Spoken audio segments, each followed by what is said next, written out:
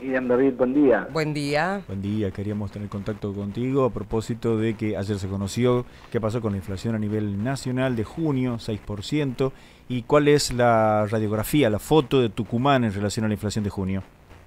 Bien, en el mes de junio eh, el aumento de los precios en promedio fue de un 6,5% en relación al 6% del promedio nacional y 6,6% del promedio NOA.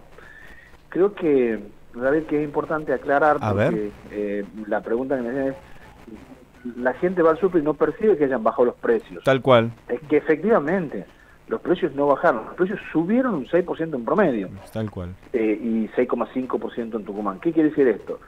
Que usted fue al supermercado el mes pasado con 10 mil pesos y compró una determinada cantidad de bienes. O ahora, un mes más tarde, va con los mismos 10 mil pesos a querer comprar los mismos artículos que la vez pasada y no le alcanzó. tuvo que poner 600 pesos más.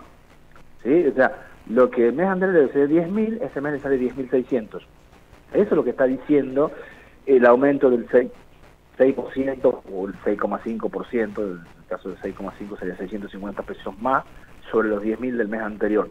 Tal cual, ¿no? Quizás los precios no han bajado, los precios han subido. Lo que pasa es que se enfatiza mucho en que si el mes pasado fue 7,7% en Tucumán y ahora 6,5%, ah, bajó la inflación. No, no, la inflación sigue Seguimos, alta, seguimos con inflación, exactamente. Lo que pasa es que venimos, veníamos del infierno y ahora, bueno, no sé, se ha bajado un poquito la llama, pero en realidad seguimos todavía en una situación muy complicada. Así es, David, así es. Y la otra aclaración que hay que hacer siempre es que es un mes que ha bajado. No sabemos si el mes que viene se va a repetir esta conducta. Ojalá el mes que viene siga bajando un poquito y así sucesivamente. ¿Qué les dice a eh, ustedes este, los datos desde el comienzo de año en relación a la lectura no solo de la foto, sino de la película? ¿Hay, hay una tendencia a que baje, se ha mesetado? ¿Qué están viendo ustedes? Bueno, veníamos en una meseta de alrededor del 7%, ahora este escalón eh, nos pone 6,5%. Eh, lo que ocurre es que por delante tenemos cuatro meses con mucha incertidumbre debido a al proceso electoral, electoral que caracteriza este año. Tenemos en agosto paso y en octubre elecciones provinciales. Eso genera mucho ruido, genera mucha incertidumbre eh, en la calle la gente dice no, sé para dónde disparar. Eh, eso es lo que refleja, digamos, eh, lo que está pasando con la endeble macroeconomía que tenemos. Eso genera mucho ruido a los, a los tomadores de decisiones, entonces la gente empieza a anticiparse, sí.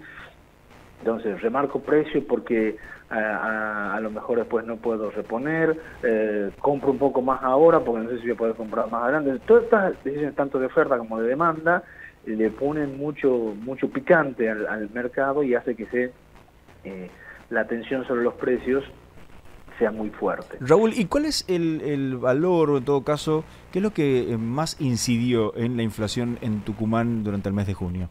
El mes de junio el sector que más aumentó fue el de comunicaciones, con telefonía celular, telefonía fija. Tanto comunicación que aumentó el 17%, como equipamiento y mantenimiento de hogar un 10%. Hace un montón. Son los dos rubros que están al tope, ¿no? Recreación y cultura con un 9%. ¿Y qué pasó con los... Eh, eh, eso, alimentos, justamente ibas a mencionarlo, ¿no? ¿Qué pasó? Porque, bueno, uno puede prescindir de algunas cosas, pero no de alimentarse, claramente. Los alimentos subieron, subieron un 5,2%, de vuelta con el mismo ejemplo de inicio compraste alimento por 10 mil pesos el mes pasado, entonces este mes necesitas 10 mil 500. ¿sí? Eh, los, los, alimentos subieron un 5%. Por debajo del promedio, sí, por debajo del promedio del nivel general, claro. Eh, pero aumentaron 5%.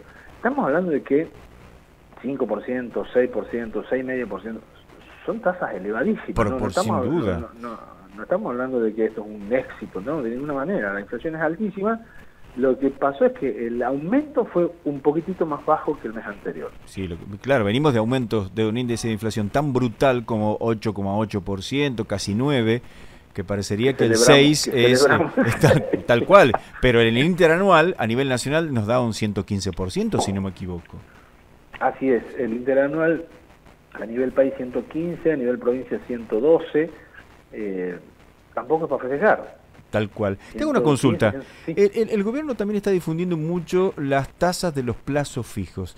¿El plazo fijo es un refugio para aquel que tiene unos pesitos?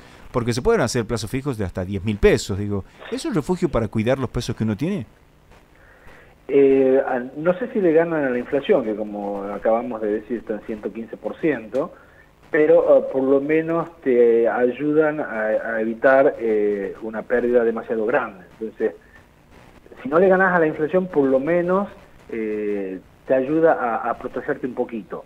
¿sí? Realmente, en la concepción de que el plazo fijo tiene que tener tasa real positiva. ¿Qué quiere decir tasa real positiva? Que si la inflación mensual es 6,5%, el plazo fijo sea 7,5%, 8%. Bueno, eso probablemente no está ocurriendo. O sea, ganar plata no vas a ganar, pero por lo menos eh, entre tenerla parada la plata eh, sin, darle un destino... Abajo del colchón, eh, claro. Claro, le, va a perder plata por el solo paso del tiempo. Entonces, sí, hacer un plazo fijo aunque sea chiquito y algo, algo te vas a proteger. Claro. Bien, Raúl, muchísimas gracias por contarnos todo esto y que tengas un buen fin de semana. Igualmente, chicos, para ustedes y para su audiencia. Por favor, muchas gracias por el tiempo. Hasta luego. Estuvimos dialogando con Raúl García, director de Estadísticas de la provincia.